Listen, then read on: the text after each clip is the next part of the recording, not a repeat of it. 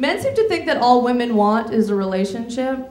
It's not true, you guys. We view relationships the same way you view big breasts, which is, uh, sure, that would be nice, but it's not going to keep me from sleeping with you. A lot of women think that uh, dating is difficult in Los Angeles. You know, I, I don't think dating's a problem. I think breaking up with a guy in Los Angeles is difficult. You know, because after you break up with them, you have to keep seeing them in commercials. it, can be, it can be rough. My therapist told me that um, if I want to have better relationships with guys, I have to have better boundaries with men, you know?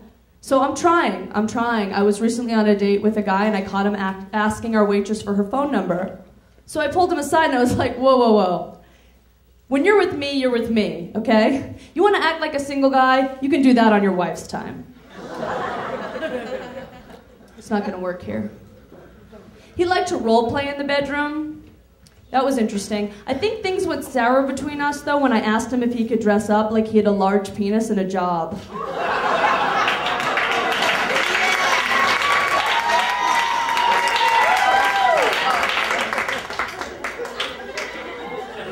Yeah. The last guy I broke up with, um, I only broke up with him because I found out that he worked for the Republican Party. Yeah, no, it's not that I'm political, it's just that I got sick of waiting for him to screw me as hard as he does the American people.